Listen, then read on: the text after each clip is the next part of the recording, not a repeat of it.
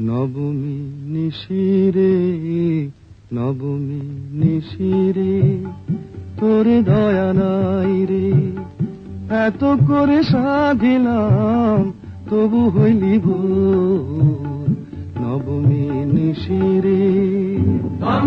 গুরু গুরু ওই শোনা যায়।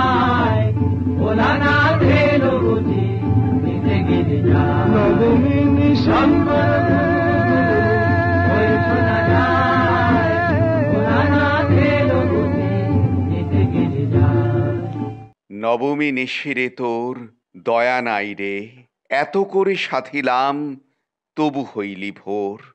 সমস্ত বাঙালির আরতি যেন ফুটে উঠেছে এই গানের মধ্য দিয়ে। ষষ্ঠীর কল্পারম্ভের মধ্য দিয়ে শারদীয়া দুর্গা পূজা। এই রাত কাটলেই হবে তার অবসান। ঢাকের কাঠিতে বাজবে বিসর্জনের তাল। মহাশক্তির আরাধনায় নদিনের যে উপবাস, সময় এসেছে তা ভঙ্গ করার। যেও না নবমী নিশি। বলে, যতই কাতর প্রার্থনা জানাই না কেন, প্রকৃতির নিয়ম মতো দেবী দুর্গার মর্তধানে অবস্থানের সময় শেষ। মাতা মেনকার করুণ আরতি শুনগ রজনী করি মিনতি তোমারে। অচলা হও আজকের তরে, অচলারে দয়া করে। সাধে কি নিষেধে দাসী? তুমি অস্তে গেলে নিশি, অস্তে যাবে উমা শশী। হিমালয় আধার করে। বলব তোমায় যামিনী, তুমি তো অন্তর যামিনী। অন্তরের ব্যথা আপনি, সকলই জানো অন্তরে।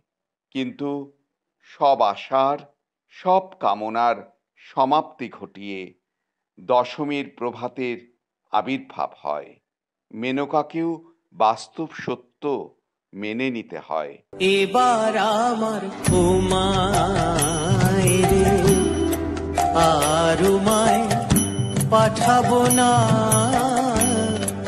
এবার আমার উমায়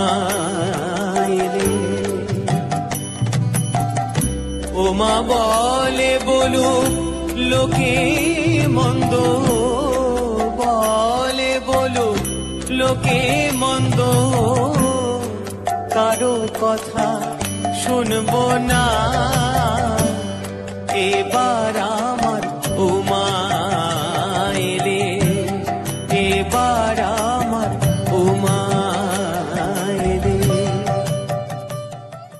শারদ দুর্গাপূজার এই সময়ে বাঙালি মেতে ওঠেন নানা উৎসবে। এমনই এক পরম্পরা রাঢ়বঙ্গের বিষ্ণুপুরে। মল্ল রাজাদের রাজধানী বিষ্ণুপুর, পূর্ব ভারতের সঙ্গীতের পীঠস্থান, কীর্তন এবং ধ্রুপদ সঙ্গীতের সুর, বিষ্ণুপুরের বাতাসে ধুলিকণায় নিত্য ভেসে বেড়ায়। বিষ্ণুপুরের শাস্ত্রীয় সঙ্গীতের এক স্তম্ভ পুরুষ ছিলেন সুর সাধক রামশঙ্কর ভট্টাচার্য, বিষ্ণুপুর সংস্কৃতি ঘরানার এই প্রাচীন ভট্টাচার্য পরিবার নিয়েই এই ঘরানার উত্তর সাধক পণ্ডিত জগন্নাথ দাশগুপ্ত কথায় ও গানে আমাদের কাছে নিবেদন রাখলেন।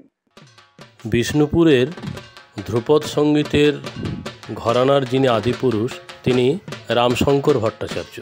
তিনি তাদের যে পারিবারিক দুর্গা মণ্ডপ রয়েছে, সেখানেই শারদীয় দুর্গোৎসবের সময় একটি করে শাস্ত্রীয় সংগীত, বিশেষ করে ধ্রুপদ সঙ্গীতের আয়োজন করতেন এবং সেই আয়োজন করা হয়। বহু শিল্পী এখানে অংশগ্রহণ করে থাকেন এবং মহানবমীর রাত্রিরে বিষ্ণুপুর ঘরানার গানের যে একটি ধারা, তা যেন জাগ্রত হয়ে ওঠে। গোপেশ্বর বন্দ্যোপাধ্যায়, সুরেন্দ্রনাথ বন্দ্যোপাধ্যায়, রামপ্রসন্নবাবু রাধিকা প্রসাদ গোস্বামী, জ্ঞান গোস্বামী, যদুহট্ট এই আসরে অংশগ্রহণ করতেন।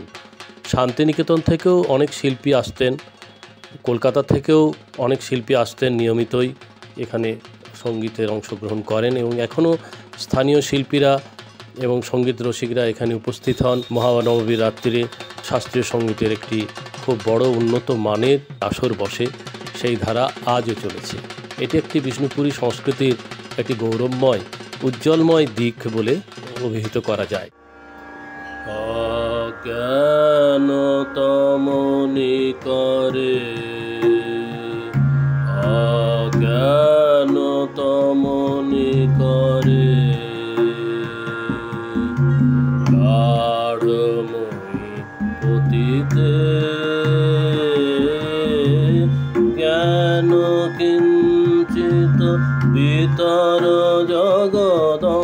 জগদম্বে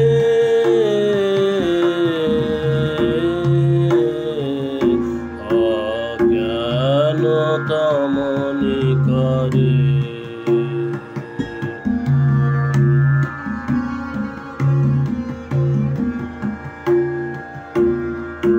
কলস পূর্ণিত মম কলে। কর্ম তৎপর কলস পূর্ণিত মম কলে বর অশেষ কুৎসিত কর্ম তৎপর স্থিরমতি সংসার জলবিম্বে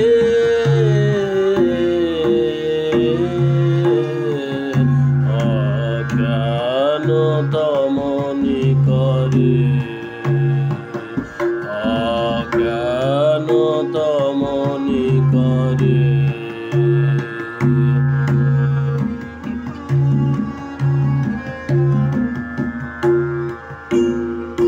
তব মায়াময় মোহ গর্তে নয়ন সত্ত্বেও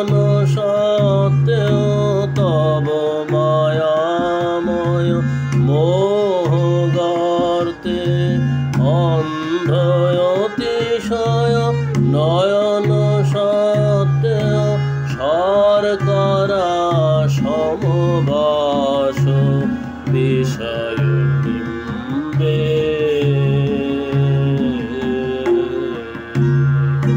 তব চরণ